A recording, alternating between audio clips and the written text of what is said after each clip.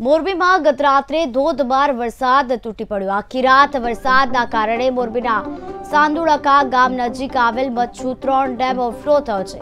આથી આ મચ્છુ ત્રણ ડેમના બે ગેટ અડધો ફૂટ ખોલવામાં આવ્યા છે. ડેમમાંથી આઠસો અઠ્ઠાણું ક્યુસેક પાણી છોડવામાં આવ્યું છે. ડેમમાંથી પાણી છોડાતા મોરબી, માળિયાના એકવીસ ગામોને એલર્ટ કરાયા છે.